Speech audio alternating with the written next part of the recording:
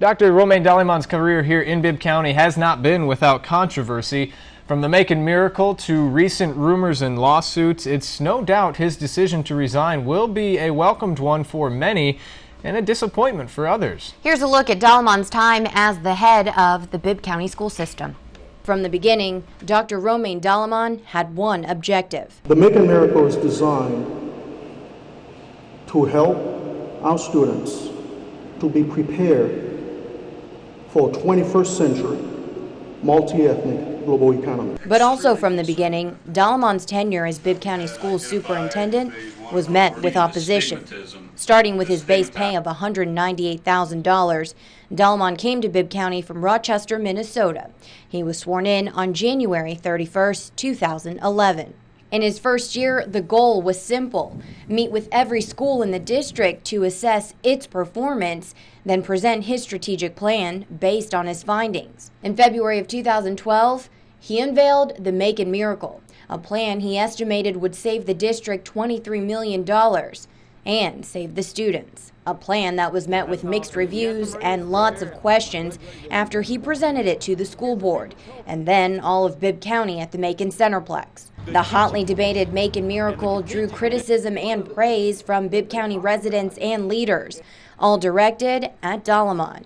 Shortly after its unveiling, the superintendent came under fire when he announced he'd be making a trip to Belgium with two other district representatives to show off his plan. The nearly $9,000 trip sparked outcry among several Bibb County residents since the plan hadn't been implemented yet.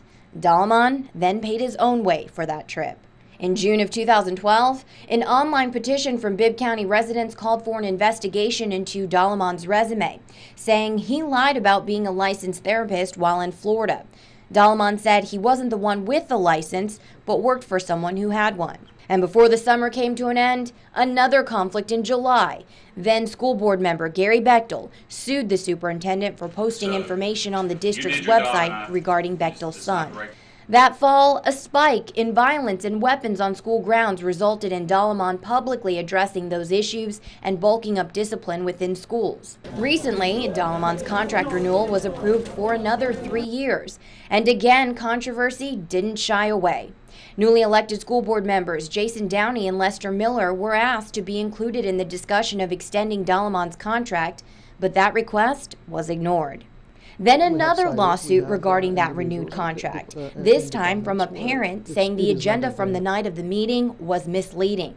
There was nothing indicating that a vote would take place after executive session.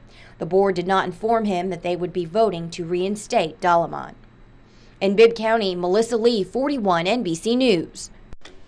We've reached out to members of the Bibb County School Board, none of whom will comment on Dallemand's resignation.